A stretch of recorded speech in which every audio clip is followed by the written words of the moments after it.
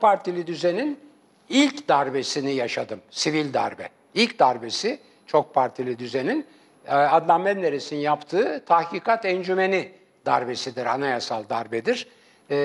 15 e, milletvekiline e, Türkiye Cumhuriyeti'nin anayasasına ve işte bütün geleneklerine göre bağımsız olması gereken ama iktidarın emrine giren yargının bütün yetkilerini vermiştir. Yani şöyle hem askeri yargının hem sivil yargının bütün yetkilerini veriyor. Hem savcı yetkileri veriyor hem yargıç yetkileri veriyor. Yani hem suçlayacak hem karar verecek ve temyizi yok. 15 tane milletvekiline. Bu darbe. 18 Nisan'da bu yasa çıkıyor. 28 Nisan'da da bunun uygulama yasası çıkıyor. Ve o gün işte İstanbul'da şeyler başlıyor, öğrenci isyanları. Ankara'ya sirayet ediyor 29 Nisan'da. 27 Mayıs askeri darbesi çok partili düzenin ikinci darbesidir. Menderes'in bu sivil darbesine rağmen. Bu arada mesela Osman Bölükbaşı, Millet Partisi'nin genel başkanı hapiste. Yani bir partinin genel başkanı hapiste. Metin Toker, ünlü gazeteci, çok ünlü gazeteci. Ee, benim de arkadaşım da Allah rahmet eylesin. İsmet Paşa'nın damadı Akis dergisini filan çıkarıyorlar. O da hapiste. Ee, gene Demokrat Parti Ahmet Emin Yalman gibi, Hüseyin Cahit Yalçın gibi 70'ini 80'ini bulmuş e, gazetecileri hapse atıyor ki mesela Ahmet Emin Yalman önce onlardan yana tavır koyan filan bir gazeteci. Yani böyle kıdemdi, yaşlı filan hiç düşünmeden 70'in üstünde gazeteciler içeri, İsmet Paşa'nın damadı içeri, e, parti genel başkanı içeri filan. O Hicabi Dinç galiba, o da Allah rahmet eylesin diyelim bir İstanbul savcısı vardı, basına bakıyordu. Çok ünlü, böyle zalim, zulmüyle ünlü bir zattır filan. Onu yaşadım ben. Ben onu yaşadım.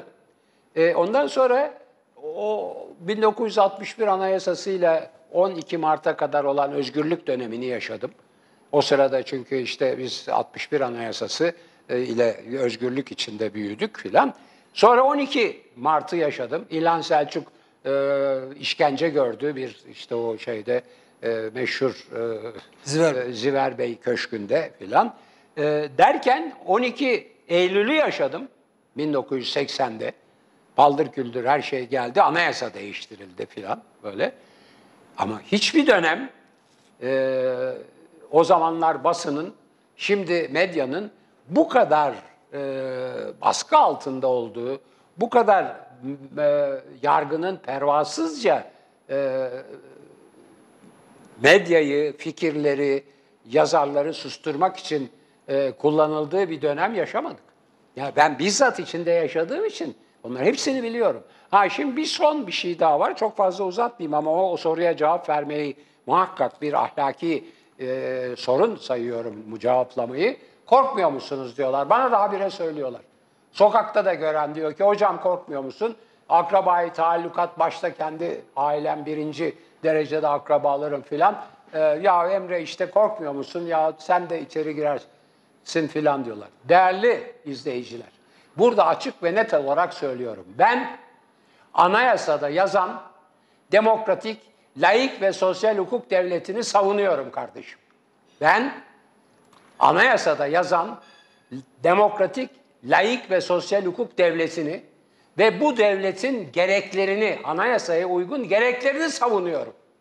Bunları savunduğum için de korkmuyorum kardeşim. Ben ben ahlaksızlığı savunmuyorum. Yolsuzluğu savunmuyorum. Katilleri savunmuyorum. Irz düşmanlarını savunmuyorum. Ahlaksızlığı savunmuyorum. Ben tam tersine ahlakı, adaleti, özgürlüğü, eşitliği, eşitlik derken herkesin katkısı kadar eşitliği savunuyorum. Anayasayı savunuyorum. Demokratik, laik ve sosyal hukuk devletini savunuyorum. Niye korkayım ya? Yani niye korkayım?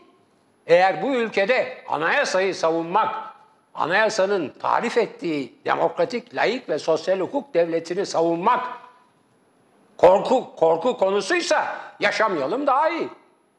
Yani korku, korku onun için korkmuyorum. Korkmamamın sebebi o. Ha hapse atılmaktan, hapse atılma ihtimalim var mı yok mu filan falan var tabii. Ama onun da cevabı başka. Korkunun ecele faydası yok ki. yani eğer birileri eğer beni hapse atmaya karar vermişlerse e, gözünün üstünde kaşın var der. Yani meşhur işte e, Fouché'nin, Talleyrand'ın Napolyon dönemindeki dönek e, e, polis müdürünün ve Dışişleri Bakanı'nın söylediği şeyler. Bir cümleni ver, ben onu e, müebbet hapse mahkum edeyim. Bir cümlesini ver diyor. Ben onu hapse mahkum ederim diyor. Bütün O kadar. e, o kadar basit yani. Onun için yani bu korku Korku, neden korkacaksın? Neden korkacaksın? Yani korkarak yaşamanın anayasayı eğer biz korkarak savunacaksak hiç yaşamayalım daha iyi. Ben anayasayı savunuyorum. Anayasayı savunduğum için de hiçbir şeyden korkmuyorum kardeşim. Anayasayı savunuyorum. Teröre de karşıyım, şiddete de karşıyım. Demokratik, laik, sosyal hukuk devletini savunuyorum. Üstelik de sosyal devleti de iyi uygulayamıyorlar. Laikliği de uygulayamıyorlar. Demokrasiyi de uygulayamıyorlar. Hukuk devletini hiç uygulayamıyorlar. Bu iktidardan önce de bunu söyledim. Anayasada demokratik, laik, sosyal hukuk devleti yazıyor ama şu anda Türkiye Cumhuriyeti şu anda hiç değil ama bu iktidardan önce de tam anlamıyla demokratik, laik, sosyal bir hukuk devleti değildi. Hele sosyal devlet hiç olamadıydı.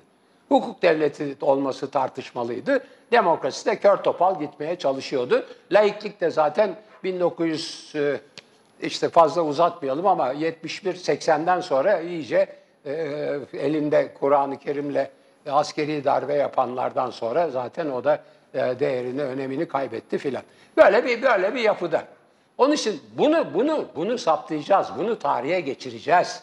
Bunu tarihe geçireceğiz. Ekranda da olabiliriz, hapiste de olabiliriz. Merdan burada. Merdan burada. Merdan bu bu ekranda.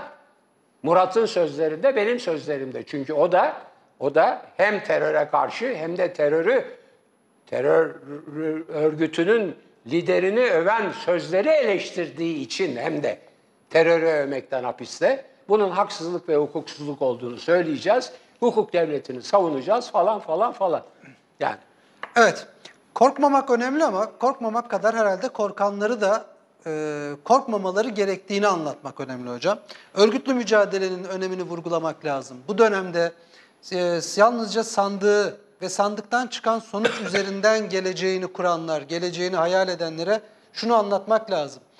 Ya yüzde 48 değil, yüzde 8 de olabilirsiniz. Yüzde 5 de olabilirsiniz. Yüzde 15 yani, ne, yani bir azınlık olabilirsiniz ve hiçbir zaman iktidara gelmeyebilirsiniz. Yani sizin paylaştığınız